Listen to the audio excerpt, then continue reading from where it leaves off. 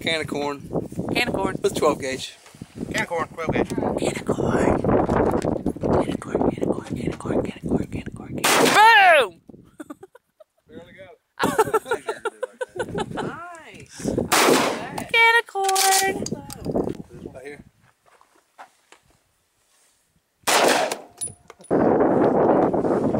Okay.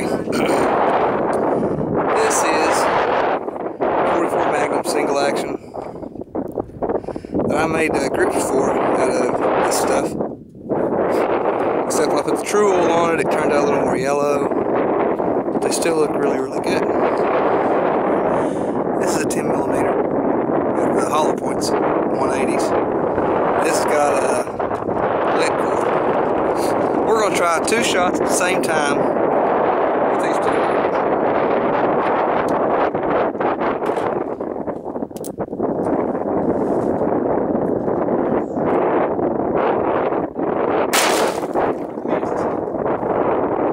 We'll try it down the sight.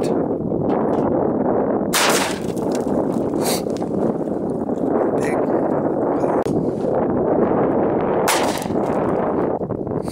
Nice.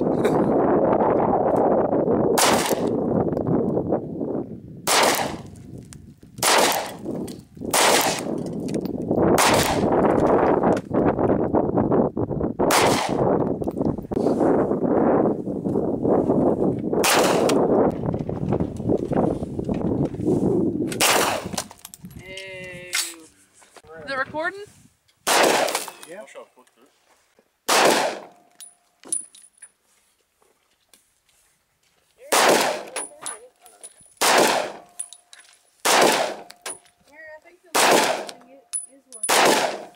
Uh, it does on the right side, but the left side don't.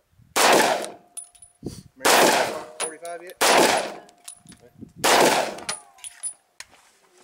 That's all right. Uh, one of these, that one, that one, actually scared me. I got that three and a half pound disconnector in there, and I, I was expecting a longer trigger pull.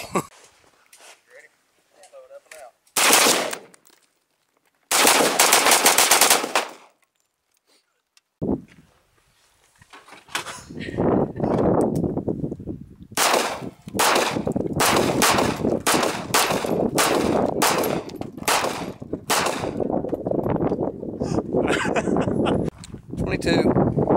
Another grip I did. My first, very first one. Crappy beer. Don't worry, it's over top of a spot. We're gonna leave the glass.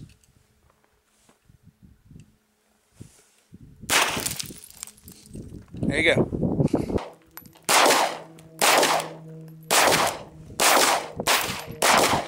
You see that? Damn. Damn good one. Yeah, that one's on you, Kayla. I've never been that either.